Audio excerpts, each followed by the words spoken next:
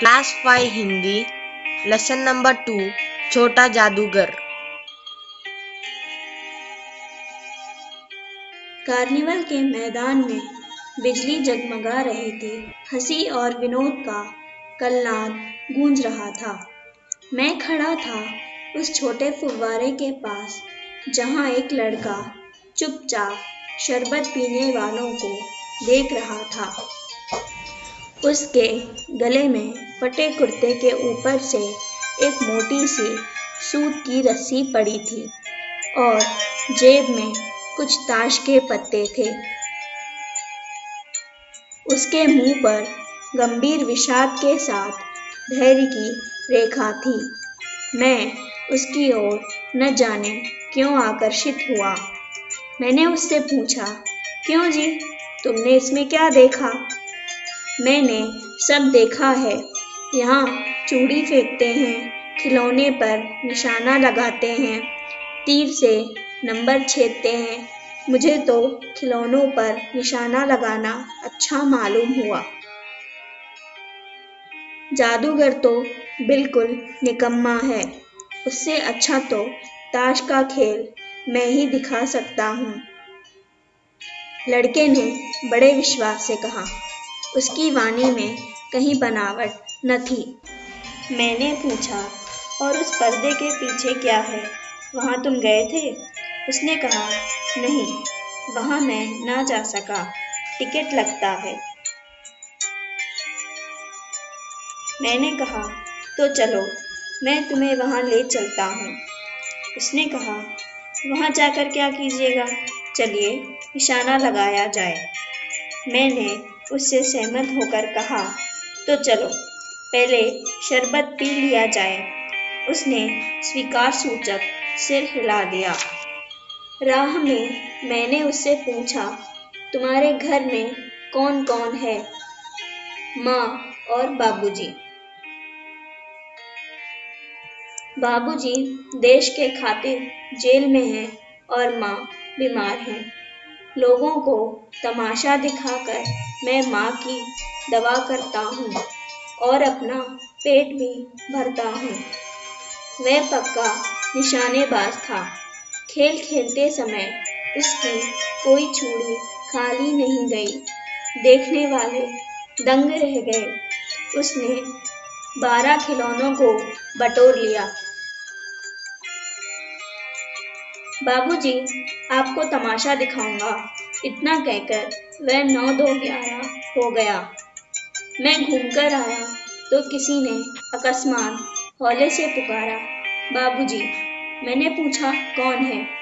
उसने कहा, मैं हूँ छोटा जादूगर।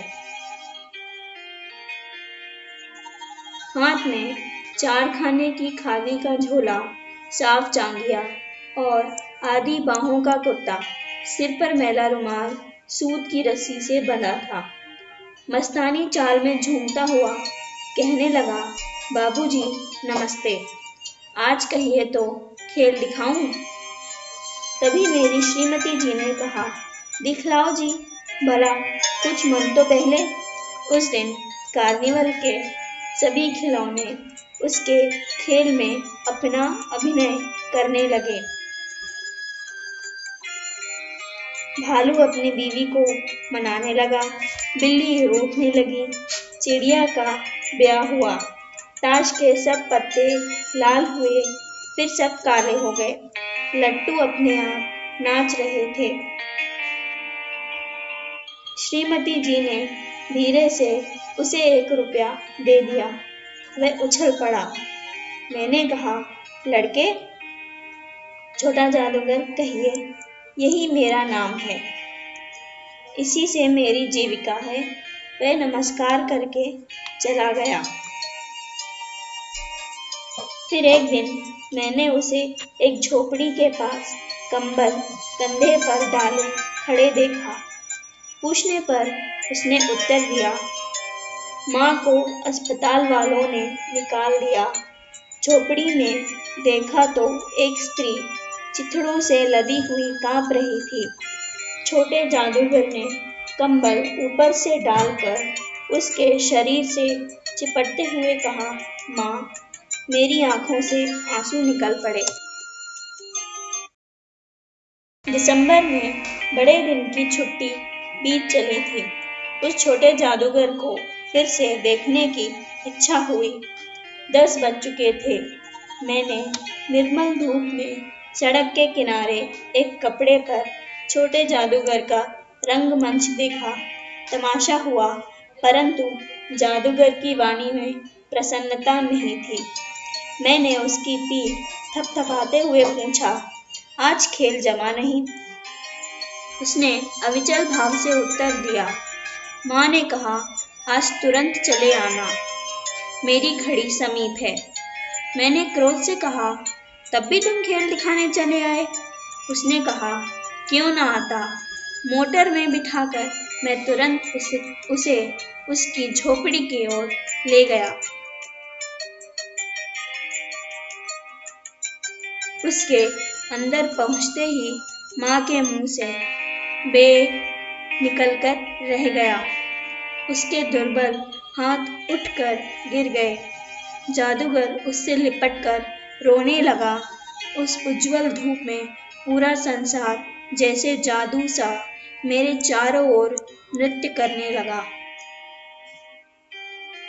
वीडियो लंबा होने के कारण इस लेसन के प्रश्न उत्तर अलग से अपलोड किए जाएँगे और उसका लिंक नीचे डिस्क्रिप्शन बॉक्स में दे दिया जाएगा।